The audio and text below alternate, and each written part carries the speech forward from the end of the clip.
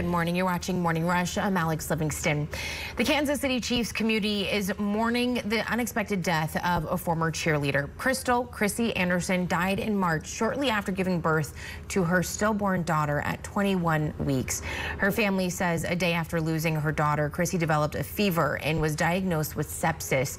She went into multiple organ failure, underwent three surgeries, and was put on a ventilator, but did not survive. The Kansas City Chief cheer team remembering Anderson on social media, posting in part, quote, she was loved and adored by her teammates, fans, and strangers who were never strangers for long.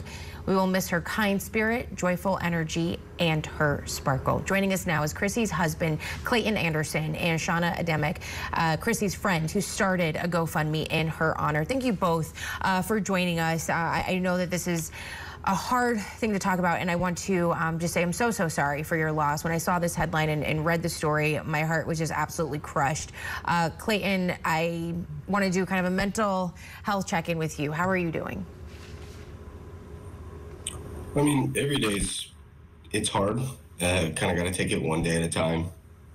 I um, went out to the cemetery yesterday to go talk to them. So, not the way you want to spend Easter, but you know, that's one of those hurdles that you have to kind of get over, I guess. Yeah. Uh, Clayton, so you and Krissy, you had concerns during this pregnancy uh, because you had lost a baby in the past. Were there any indications, any signs that um, this pregnancy may have been headed down that road as well? Yeah, we were, we wanted to be very proactive with this one. So we had those early conversations with maternal fetal medicine and um, and our OBGYNs, and we actually established a plan to go in and meet at week 14, 16, 18, 20, 23, 32 um, with maternal fetal medicine. Um, week 16, it was the Monday morning after the Chiefs won the Super Bowl.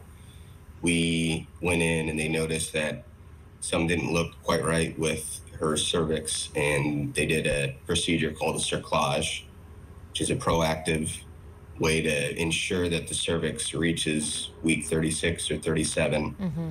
to get to viability. And um, after that, they told us it was the most proactive thing that they could do. We were doing the right thing. Um, they canceled our week 18 appointment and then said, We don't need to see you until the 20 week anatomy scan at the 20 week anatomy scan, we saw a baby, and baby was very big, very healthy, and you know she was measuring in at 21 and five days at mm-hmm. 20 weeks. So heart rate going at 158 beats a minute looked, looked great. And then they told us the words, you know, unfortunately, you know, I'll always hear those words. It's a uh, mom's cervix look like it's the cerclage is working and it's hourglassing. And so they told us now the goal isn't to get to week 36 anymore, it's to get to week 22. Wow. I, I, I don't have a lot of words. It's just it's so devastating to go through this. Um, Shanna, you you you were Krissy's friend. Um, what was going through your mind um, as you're uh, more than likely hearing about this process?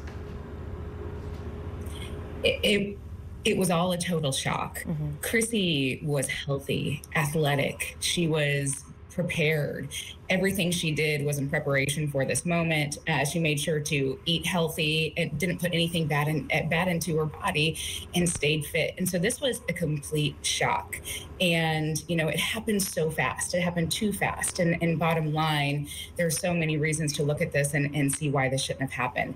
Uh, Krissy was magic personified, as we have said many times about her personality, her ability to bring joy, and not just as a Chiefs cheerleader. Krissy was so many more things. Yes, I, I cheered with her and she was great on the field, but she was also a um, software developer for Oracle Health and actually was part of the team that received the patent for assess, uh, assessing risk and postpartum hemorrhaging, which, as you know, is also a cause, cause of maternal death.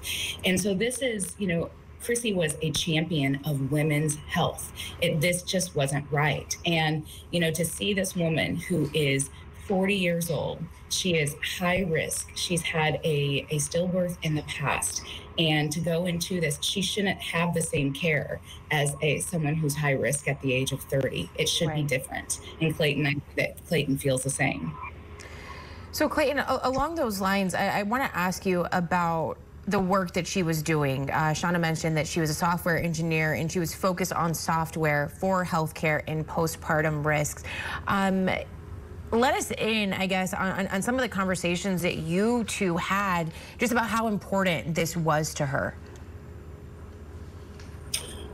Yeah, it's, you don't see a lot of black women in software, right. period. Mm-hmm.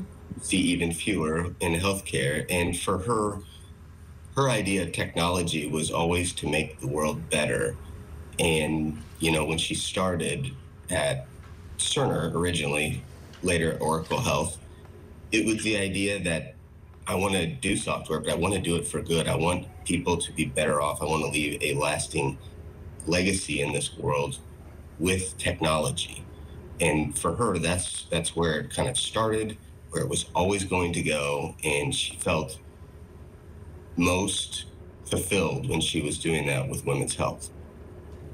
And what else do you think um, is a part of her legacy that she leaves behind? She she you know she also did yoga. She like we talked about did software. She did cheerleading.